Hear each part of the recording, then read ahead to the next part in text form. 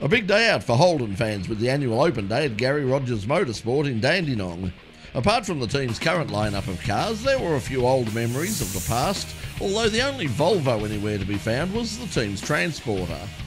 Apart from the race cars, there were a number of cool Holden road cars on hand as well, including a couple of these very early models. There was also this Bentley GT3, but we're not talking about that yet. Team drivers Garth Tander and James Moffat were on hand to sign autographs and pose for pictures, although their minds were already focused on the unique challenges of Tasmania's Symmons Plains, side of next week's second round of the championship. The big thing with Symmons Plains is obviously trying to get in and around the hairpin and then get good traction off. So uh, that's probably what you spend most of your weekend in terms of focusing with the setup. Uh, so important to have a good car under brakes as well but uh, also good traction off the corners. It's one of those circuits that looks probably pretty simple on paper, but it's far from that. It's very technical actually, and um, characterised obviously by the hairpin.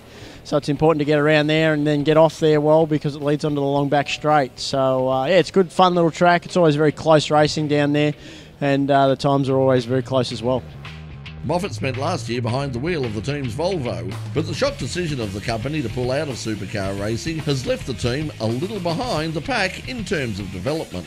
Certainly, the, the fabulous work that everybody at GRM did in the off season.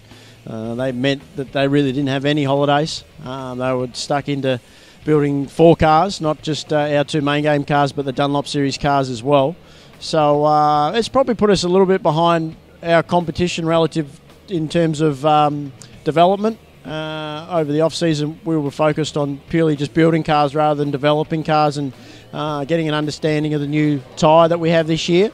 But uh, a couple of rounds into the, the year already, I think uh, we're probably ahead of where we thought we would be, and uh, we feel like we're only going to get better. Uh, there's been quite a bit of a difference between the two cars, I guess. Yeah, the Volvo and the, the Commodore. Clearly, the, the aero package is, is different between the two, but also the engine side of things has been uh, quite a bit different in how the uh, the Walkinshaw engine de- delivers its power and a few other bits and pieces. So so far the the package overall has been probably more reliable than what we had last year. So we're looking forward to that for the rest of the year.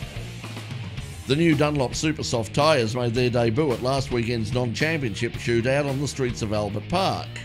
And James was grateful for the chance to get some experience on them before this weekend at Symmons Plains. We haven't done a whole heap of running on the super soft tyre. The Grand Prix was the first time that we ran that tyre, so uh, we'll get to understand that a bit more over the weekend at Tasmania, and um, hopefully we can find a bit more speed out of it.